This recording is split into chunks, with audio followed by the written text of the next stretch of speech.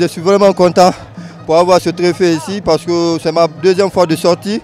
Donc euh, pour la première fois j'étais en Irak, donc ça n'a pas marché.